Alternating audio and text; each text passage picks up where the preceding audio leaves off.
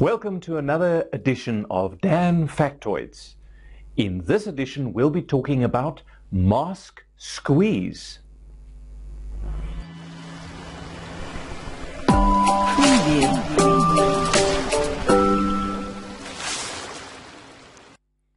A newly certified diver called us on the DAN hotline asking about a red spot in the corner of their eye after doing their first offshore dive. Their diving instructor had rightly made the assumption that it could be the result of mask squeeze, and we then continued to explain what that was about. And that's what we'd really like to do in this particular factoid series. When we wear a mask, and let's contrast a mask to goggles. Goggles don't have a nose piece. A mask covers the nose as well. And the idea is as we exhale and adjust pressure, breathing underwater, we are continually equalizing the mask as well as our airways to the surrounding pressure. If we don't do that, there's a tendency of the mask to actually suck itself into our face and consequently also sucking on the white part of our eyes in particular. And at a certain threshold, there can be rupture of the blood vessels of the eye, producing a pool or a so-called ecchymosis of the, the uh, eye or the conjunctiva, which can give a very nasty vampire-esque sort of appearance to the eye.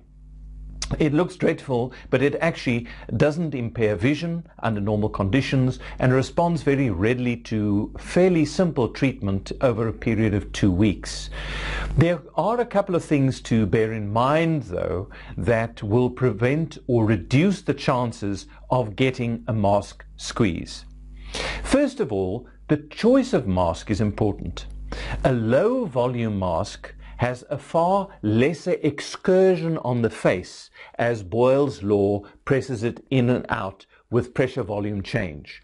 So if you can, go for a small volume mask. Secondly, pay attention to exhaling deliberately into the mask while you dive so that it is relaxed on the face. Thirdly, when the mask is actually fitted to the face, make sure that you don't sort of strap it tight and it really sort of sticks to the face. You want the mask to be tight enough on the face that it doesn't slip off with any movement of the head, but you don't want the mask strapped down so tightly that it automatically actually squeezes on the eye and sets you up for a mask squeeze. And that should be all that is necessary to prevent mask squeeze. Practicing equalizing the, uh, the mask or clearing water from the mask underwater is another great exercise that you should do anyway and it is another way to ensure that there isn't undue tension on the eyes during diving. And we hope with those few tips it'll be possible for you to get a comfortable mask and to avoid eye squeeze.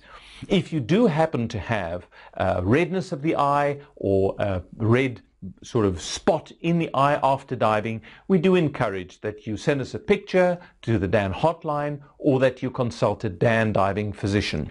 It doesn't necessarily occur and the big thing is really just knowing how to manage your mask. Thank you for your interest, subscribe to our channel and we look forward to seeing you next time at our DAN Factoid series. you.